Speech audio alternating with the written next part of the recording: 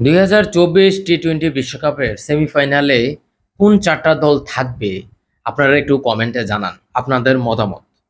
আমার কাছে মনে হয় যে চারটা টিম, চারটা টিমের বিস্তারিত আলোচনা করব। আসলে সেমিফাইনালে কীভাবে যাবে? প্রথম যে গ্রুপ স্টেজে খেলা, সেখান থেকে প্রত্যেকটা গ্রুপ থেকে দুইটা টিম করে উঠবে। টোটাল আটটা টিম, সুপার এইট, সেখানে আটটা টিম দুই ভাগেই বিভক্ত হয়ে যাবে, চারটা চারটা করে। তখন রাউন্ড রবিন সিস্টেমে খেলা হবে। তখন প্রত্যেকটা এই দুইটা গ্রুপ থেকে দুইটা করে টিম উঠবে সেমিফাইনালে চারটা টিম সেমিফাইনালে উঠবে এবং কোন চারটা টিম প্রথমে আমার কাছে মনে হয় অস্ট্রেলিয়া। কেন অস্ট্রেলিয়া? এর কারণ হচ্ছে দেখেন, এই যে ওমানের সাথে একটা ধরাশায়ী অবস্থা, প্রথম দিকে উইকেট পড়ে গেল, তারপর দেখেন স্টয়নিস একজনই খেলাটা টোটালি শেষ করে দিছে। এখন প্রত্যেকটা ম্যাচ তো এরকম একজন একজন খেললে হবে না। যখন দরকার, তখন দলগত পারফরমেন্স লাগবে। এই ধরনের টিম অস্ট্রেলিয়া, বড় বড় তারকা যেমন আছে, তেমন একাই একশো এমন প্লেয়ারও আছে।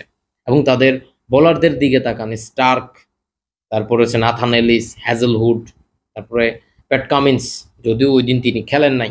তারপরে অ্যাডাম জাম্পা ম্যাথওয়েড স্টয়নিস এখন দেখেন, মারদাঙ্গা প্লেয়ারদের যদি বলি, কয়টা প্লেয়ার আছে দেখেন? ডেভিড ওয়ানার ট্রাভিস হ্যাড তারপরে Maxwell Tim David Stoinis Matthew ওয়েডের কথা বলা যায় ক্যামেরন গ্রিনের কথা বলা যায়। ঠিক আছে? এই কারণে আমি অস্ট্রেলিয়াকে রাখলাম। অস্ট্রেলিয়া আরেকটা বিষয়, আরেকটা কারণে রাখছি, সেটা হচ্ছে বিগ টুর্নামেন্ট মানেই হচ্ছে অস্ট্রেলিয়া। দুই নাম্বার যে টিমটা সেটা হচ্ছে ইংল্যান্ড যদিও ইংল্যান্ড স্কটল্যান্ডের সাথে কোনো উইকেট ফেলতে পারে নাই। নব্বই রানে শূন্য উইকেট দশ ওভারে দশ ওভারের ম্যাচ যদিও বৃষ্টির কারণে খেলা হয় নাই শেষ পর্যন্ত। তবে ইংল্যান্ডকে রাখছি এই কারণে। দেখেন, ইংল্যান্ডের একাদশটা জাস্ট দেখেন, এর বাইরেও প্লেয়ার আছে। জস বাটলার একাই একশো, ফিল সল্ট আইপিএলে কেমন খেলেছে দেখেছেন। উইল জ্যাক্স, জনি বিয়ারস্ট্রো হেরি ব্রুক। এরপরেও মইন আলী আছেন, লিয়াম লিভিংস্টন, তারপর হচ্ছে স্যাম কারেন আছেন। আমার কাছে মনে হয় ক্রিস জর্দানকে খেলানো হচ্ছে, আমার কাছে মনে হয় স্যাম কারেনকে খেলানো হচ্ছে তবে বলারদের দিকে যদি আপনি তাকান, তাহলে মার্ক উড আছে, জোফরা আর্চার আছে, আদিল রশিদ আছে, রেসি টোফলে আছে, Sam Curran, Liam Livingstone Moeen Ali. So যখন দরকার, দলগতভাবে এরা কিন্তু সবাই ম্যাচিউর্ড এবং খুব দারুণ পারফরমেন্স প্রত্যেকটা ফ্রান্সাইজি লিগে কিন্তু এরা খেলে। এখন তিন নাম্বার যে টিমটা সেটা হচ্ছে সাউথ আফ্রিকা। এখন এই চারটা টিম যদি একই গ্রুপে পড়ে যায়, তাহলে আসলে কিছু বলার নাই। এমন হতেও পারে, কারণ গ্রুপ পর্বে যদি কোনো টিম যদি group A one A two হয়ে যায় বা এরকম এ টু যদি সবগুলো হয়ে যায় বা এ ওয়ান হয়ে যায়, যেভাবে সিস্টেম আছে, ওইভাবে যদি মার্কা যাচ্ছে পেরে মানে প্যাচের মধ্যে পড়ে যায়, তাহলে কিন্তু কিছু বলার নাই। তিন নাম্বার যে টিমটা সেটা হচ্ছে সাউথ আফ্রিকা দেখেন সাউথ আফ্রিকার ব্যাটিং অর্ডারটা একটু দেখেন। দেখেন কুইন্টন ডিকক রেজা হ্যান্ড্রিক্স খুব ভালো একজন প্লেয়ার পাশাপাশি রায়ান রিকেলসন আছেন। যিনি হচ্ছে সাউথ আফ্রিকার যে লিগ হয় টি টোয়েন্টি লিগ, সেখানে কিন্তু দারুণ ব্যাটিং করেছেন। তারপরে তিনি কিন্তু লাস্ট ম্যাচে তিনি খেলেন নাই, রেজা হেনরিক্স। তারপর হচ্ছে এডেন মার্ক্রাম অধিনায়ক। পারফরমেন্স খুব একটা ভালো নেই আইপিএল থেকে শুরু করে এখন পর্যন্ত। খুব সম্ভবত তিনিও একাই একশো। তো ক্লাসেনের কথা কি বলবেন?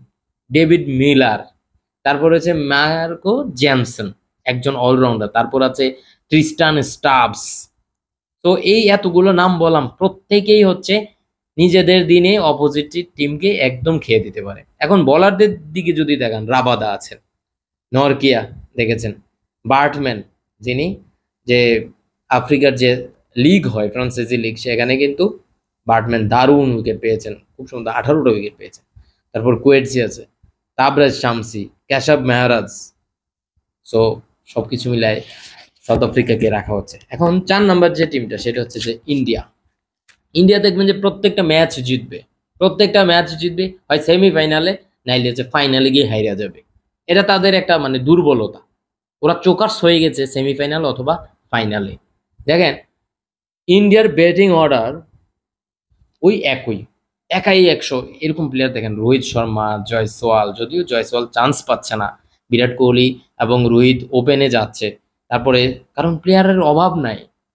তারপর হচ্ছে সূর্য কুমার যাদব যাদব আছে, ঋষভ পান্ত আছে, তারপরে শিবাম দুবে আইপিএলে তো দেখেছেন।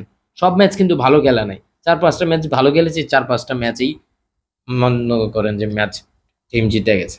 তারপর হার্দিক পান্ডিয়া, এতটুক পর্যন্ত প্রত্যেকটা প্লেয়ার প্রত্যেকটা ম্যাচে যে কোনো একজন দাঁড়ায় গেলে শেষ। এখন বলারদের দিকে যদি দেখেন, আর্শদীপ বুমরা, সিরাজ, কুলদীপ জাদ্দু। এরপরে আছে একশর প্যাটেল এরপরে আবার চাহালও আছে। মানে সব কিছু মিলে দেখেন, এই চারটা টিম আমার কাছে মনে হয় দুই হাজার চব্বিশ টি টোয়েন্টি বিশ্বকাপের সেমিফাইনালে যাবে। আপনারা একমত হতে পারেন, দ্বিমত হতে পারেন, আপনাদের কাছে কি মনে হয়, আপনাদের মতামত আপনারা কমেন্টে জানাতে পারেন। ধন্যবাদ।